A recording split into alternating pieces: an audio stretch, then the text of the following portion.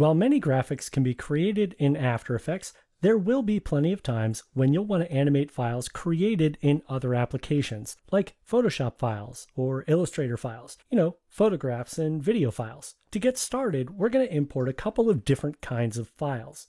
The first way you can import assets into After Effects is by going up to the menu bar and clicking on File, go to Import, and choose File.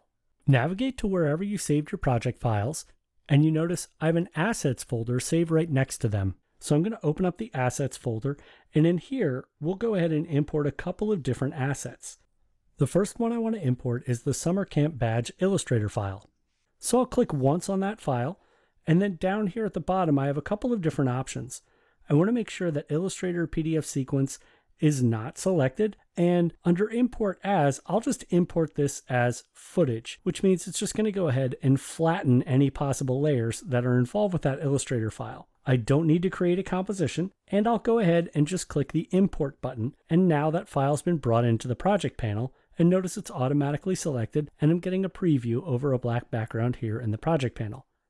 If I want to preview that file larger, I can go ahead and just double click directly on the file and that'll open here in the footage panel. Notice it looks like it's the composition panel, but it's really not. See the white line under the footage panel? This is letting me preview in the footage panel. If I click this white X to the left of the word footage, that'll go ahead and close that panel. Another way to import is to double click in the project panel.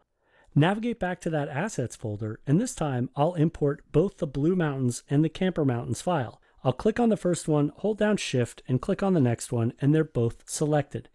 Again, want to make sure multiple sequences is not selected, and then I'll go ahead and just click import, and both those elements will be imported right here into the project panel. I could use drag and drop if I had an Explorer window or a Finder window, and I could drop things directly into the project panel. But another great way is to use the New Composition from Footage button, because I want to import some video footage and create a composition from that footage. So I'll click on the New Composition from Footage button, and you guessed that I'm going to find a video clip, so I'll click once on this road trip camp MP4 file and I'll click import. And not only has that file been imported, but I've also got a composition that matches those settings and it's already created the first layer in the composition. So as you can see, there are plenty of different ways you can import files into After Effects. The most important thing to remember is the fact that these files are not embedded with the project file, so you want to make sure to keep everything well organized on your hard drive before you bring it into your After Effects project.